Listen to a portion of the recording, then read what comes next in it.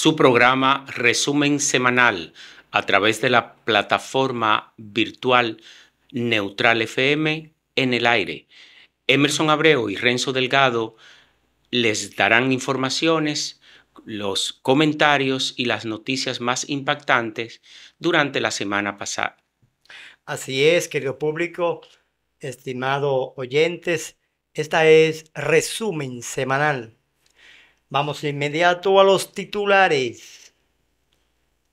Advierte de los riesgos de bajada excesiva de los tipos de interés.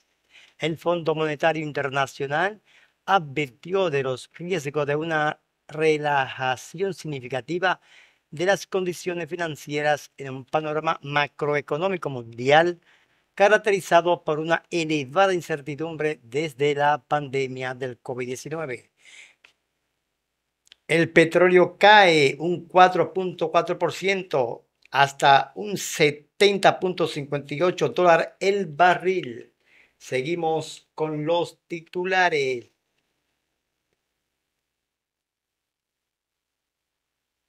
Interior y Policía y la Liga Municipal Dominicana se unen para seguridad con los municipios. Hace casi 20 años se intentó quitar gris, quitar gris uniforme de la Policía Nacional. Terminamos con, los titulares y continúa Renzo Delgado. Los rechazos ante la fusión de los ministerios del MESIS y, la y el MINER ante esta fusión, numerosos académicos expresan la imposibilidad de tal programa. La economista Mercedes Carrasco calificó este miércoles como regresiva, agresiva y abusiva la propuesta de modernización fiscal. La reforma laboral encuentra en los empresarios oposición. Estos dicen que están opuestos a la cesantía o por lo menos que la reduzcan a una cantidad de 10 salarios mínimos. La Policía Nacional muestra nuevos uniformes y nueva imagen institucional como consecuencia de la reforma policial. Eh, ahora vamos a hablar acerca de la noticia más impactante que eh, tenemos durante toda esta semana. Se ha calentado, como dice Emerson Abreu, esta noticia y vemos eh, un interés marcado de los ciudadanos al respecto. Le vamos a hablar de esa eh, reforma fiscal más adelante. Mientras tanto, vamos a poner un corte de lo que pensaba el presidente cuando estaba en la oposición acerca de la reforma eh, tributaria y de los impuestos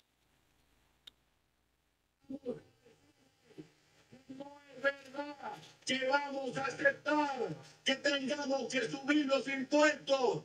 Tenemos que trabajar por un gobierno honesto, por un gobierno que no cobre más impuestos, sino que gaste bien los recursos, que los invierta correctamente.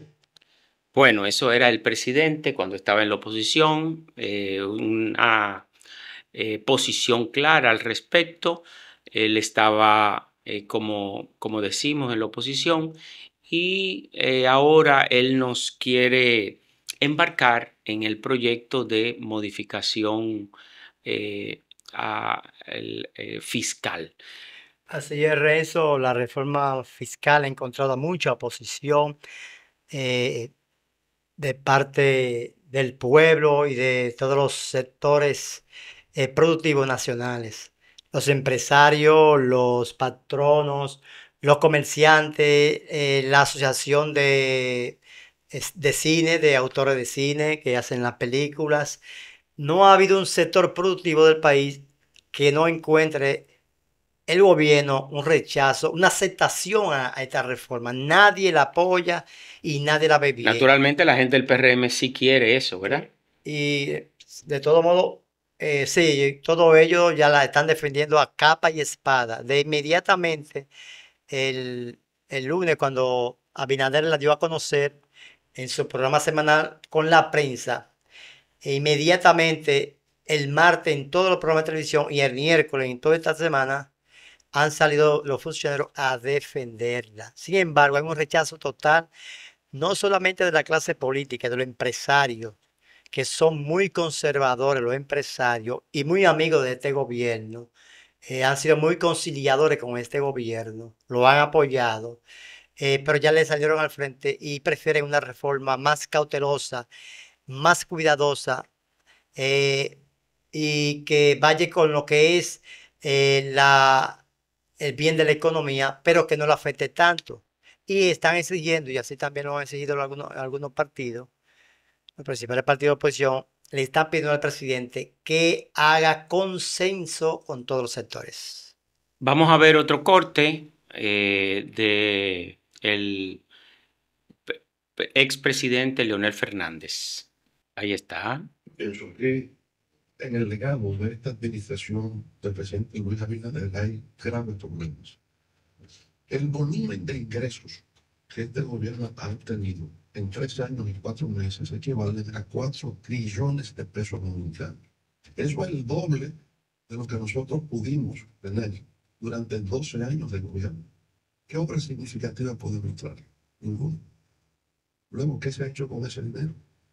No se sabe porque el presidente lo que hace es que eh, inaugura obras inconclusas. Va a inaugurar dos kilómetros de ese muro. Si propongo posible, la primera etapa son 54 y él inaugura dos kilómetros. Es como ansioso por mostrar cosas que no puede exhibir, sobre todo porque es preocupante por el volumen de ingresos que ha habido.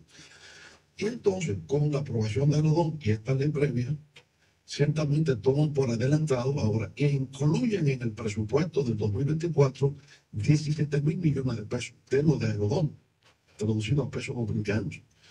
Y de eso le dan una partida de 8 mil millones al presidente de la República para el año entero y el presidente lo ha gastado al mes de marzo, los 8 mil millones en una cuenta no auditable.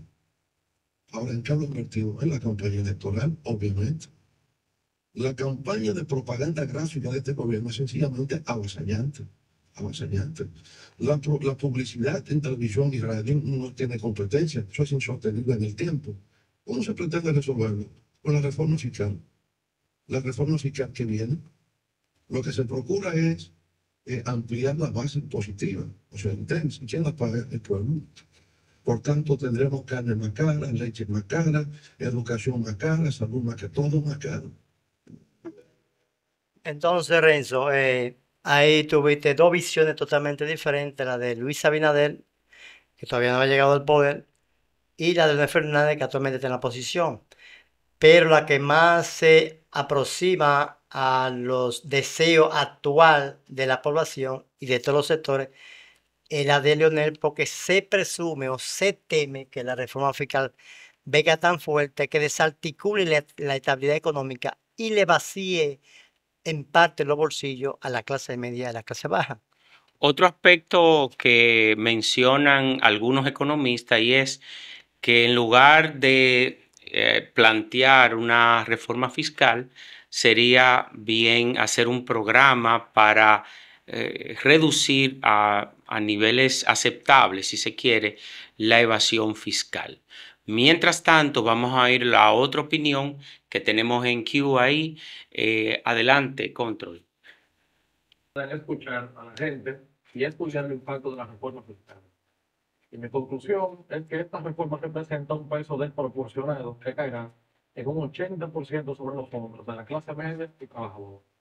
Por ejemplo, el mayor impacto, un 61%, lo representa el aumento del ITEVIS a productos de consumo básico y ahora se incluyen otros productos de la mesa de los dominicanos, como son la carne de cerdo, la carne de res, el salame, el azúcar, el café, la mantequilla, el yogur y los vegetales. Y si antes se decía que los muchachos nacían con el pan debajo del brazo, después de esta reforma lo que traerán será el ya que hasta la... Bien, entonces... Eh, eh, Nos queda un último video. Sí. Que es la, lo que ha traído la política económica del gobierno de lo que le llaman el paquetazo o reforma fiscal. Lo que Leonel le llamó un bombazo. Entonces, viene ahora eh, unos sonidos que le llaman cacerolazo.